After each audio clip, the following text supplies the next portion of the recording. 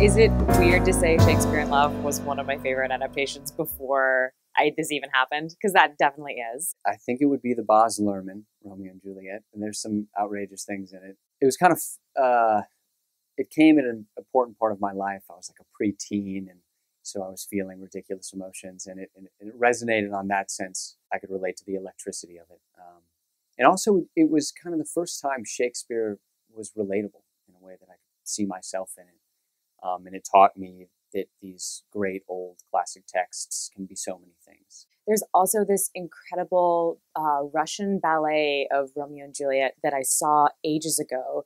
And the dancer playing uh, Juliet was um, 50 when she danced it. And I think that's really extraordinary because it sort of transcends age and expectations of what that role and that story is.